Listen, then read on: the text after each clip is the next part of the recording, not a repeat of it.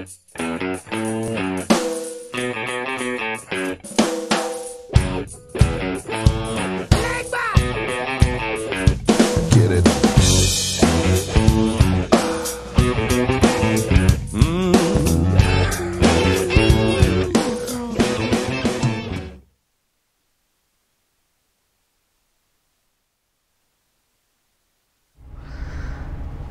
Welcome everyone to this week's installment of Santino Sunday Cigar Review. Today we're reviewing Pete Johnson's Tatuaje line.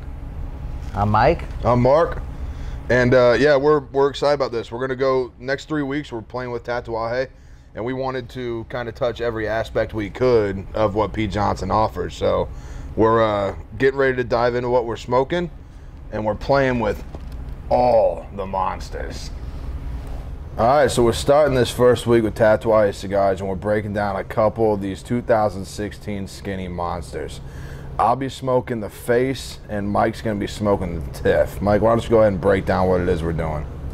Well, your cigar's uh, face is a Mexican San Andreas wrapper, a Nicaraguan binder, a Nicaraguan filler, and uh, built at the My Father factory in Nicaragua. Uh, I'll be smoking Tiff, which is an Ecuadorian Connecticut shade wrapper, Nicaraguan, and binder and filler. Right, and both made at that My Father factory, which with Pete Johnson and Tatuaje, we, we know why that's so close, and um, really excited. Let's get these things lit up and see what's going on. So we got the face and the tiff lit up. We're smoking into these. We're going to talk about what we're tasting here in a minute, but we're playing with these 2016 Skinny Monsters paired with a Boulevard Quadruple Ale, the sixth glass.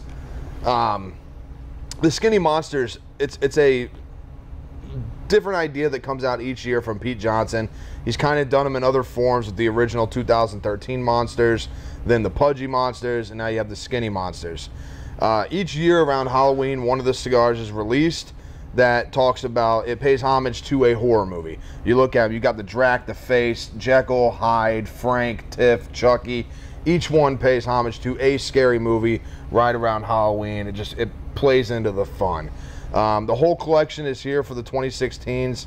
It's a it- it's we're, we're gonna dive more into it. But it's a very unique kind of smoking experience. But Mike, give me what let me know what you think about that Tiff so far with that quadruple ale. You know what's going on, man. All right, so the Tiff is, I would consider it a more mild, mellow smoke with that Ecuadorian wrapper. It's uniquely different.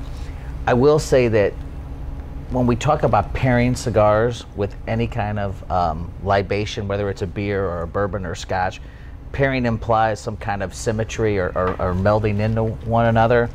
And I find these to be contrastly different, so you would think it, they wouldn't work. But it's it's it's ironically interesting to try. So they are. It, it is a it is an interesting pairing, but um, worth trying. So sometimes you have to kind of just think outside that box Right. when when pairing something. And uh, this is not a combination that you would pick, but it's it's interesting together.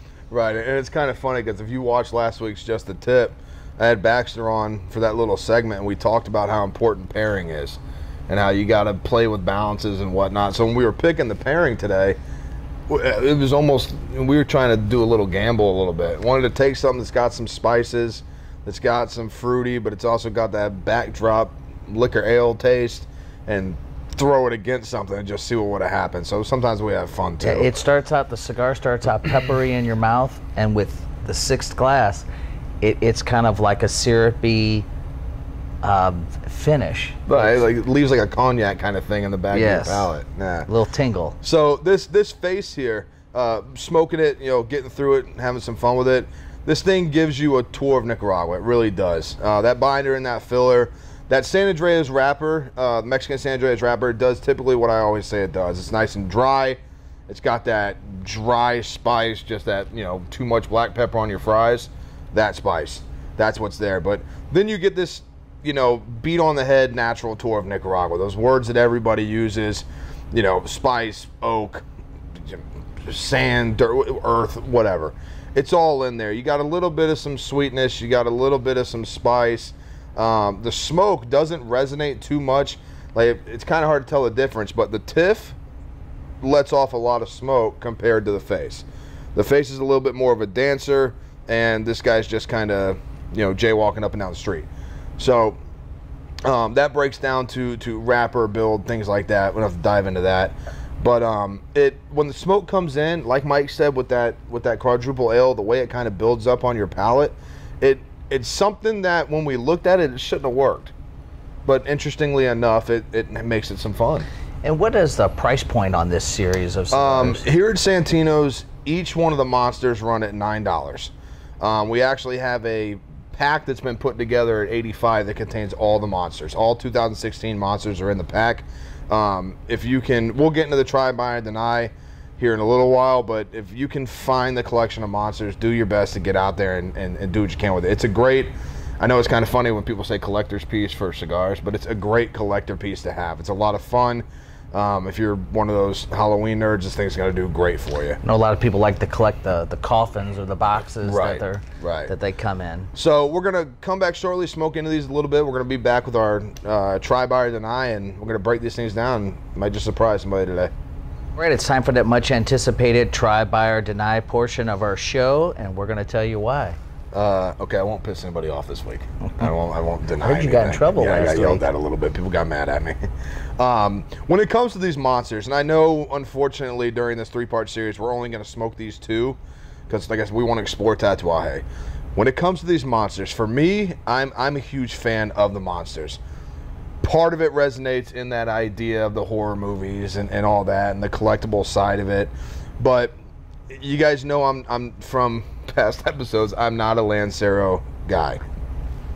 But because you play around, Nicaraguan tobacco is my favorite, and I know people have favorite tobaccos or think they don't know, whatever. But because of the way everything stays in that build, all of these cigars are always comfortable for me. They're a lot of fun to have. So for me, the cigar is definitely a buy.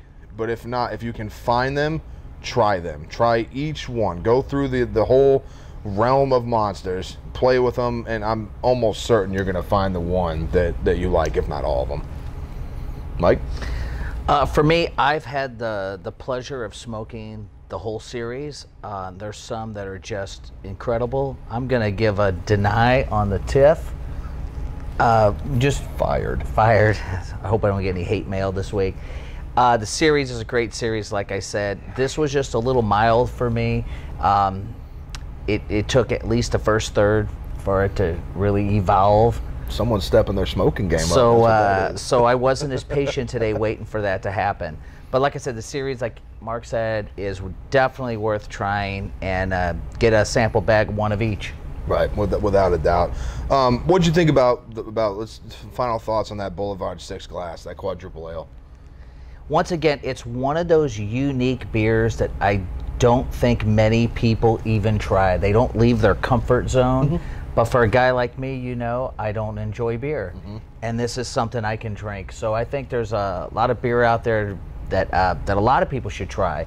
And they, they just need to get out of that, that, that comfort zone that they're used to. But this is a very unique, awkward, strange, but pleasant combination. Right, I agree. I think you know we, we took a chance diving into these two specific cigars with this beer, but I think if, if you're smoking, you know the dra- the Drac, maybe even the Wolf of, of the Monster series, uh, something a little fuller, the beer would be. I I, I agree. I, I agree, and I think that's for me. The Tiff was a little too light, so it wasn't. A, it, it, yeah, it didn't really hit the mark for me. Right. All right, a shout out to our comment winner, Jason Parsons. Congratulations, buddy. You're going to win the cigars from last week. Um, come down, pick your cigars up. You know, the opportunity to be on the show is always there. And uh, that's our wrap for week one with Tatuaje Cigars and the Skinny Monsters. Well, I'm Mike, I'm Mark, and remember, here at Santino's, we smoke, we drink, and we know things. cheers.